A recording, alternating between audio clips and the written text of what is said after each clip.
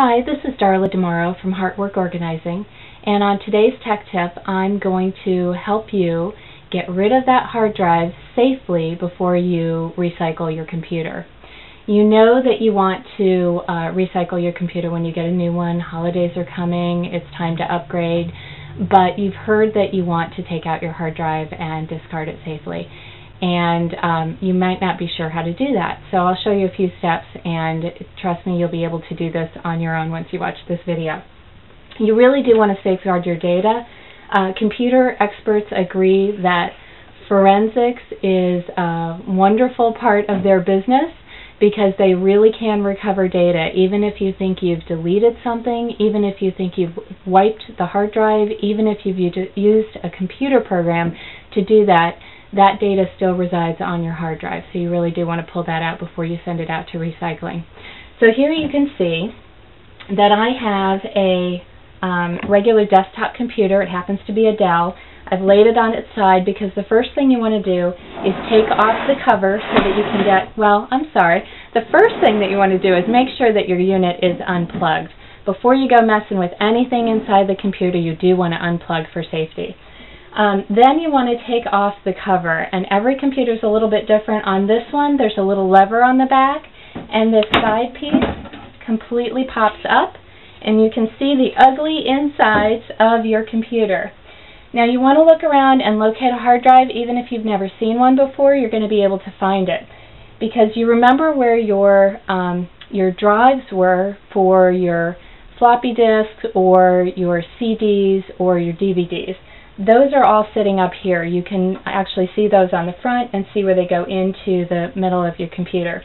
What you're looking for is something roughly squarish and it might be inside a little case like this. I've located this one here. Um, it doesn't actually have any connection to the outside of the computer, but I've located it and I found that it's actually screwed in with a couple of screws. And then this case will pop out and you can see that it's still connected with some wires but once you unscrew there's a couple of screws that'll hold the case to the hard drive. Once you unscrew those the whole thing will pop right out and it'll look like this. You then want to unplug disconnect from the machine and there is your hard drive now the rest of this can go out to recycling. You can take it to a recycling center in your area.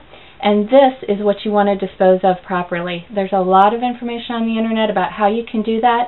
Uh, experts tell me over and over again that the best way to destroy this is actually to take a mallet out on your driveway with safety glasses on and um, literally pulverize it. Uh, this you do not want to send to recycling.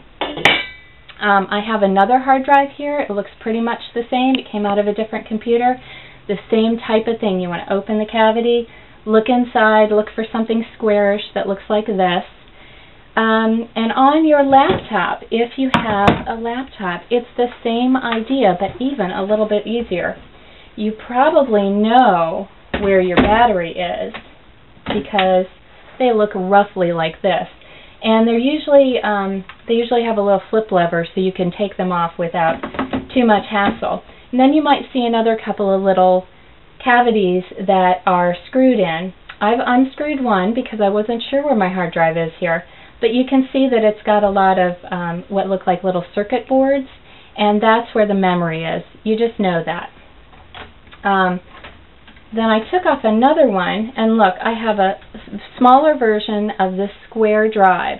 And so that looks like a hard drive on a computer, on a laptop, and the same thing. You would pop that out, you would destroy that, and recycle the rest of the computer.